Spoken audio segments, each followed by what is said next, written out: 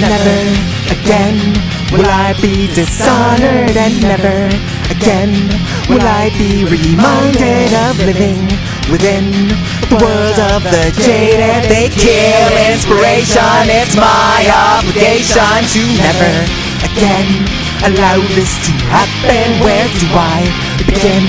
The choices are endless, denying the sin.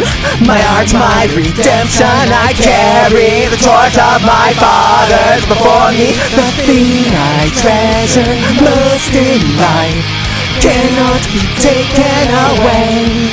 There will never be a reason why.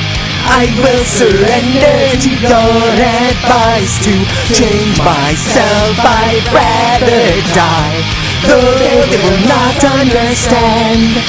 I won't make the greatest sacrifice. You can't predict where the outcome lies. You'll never take me alive.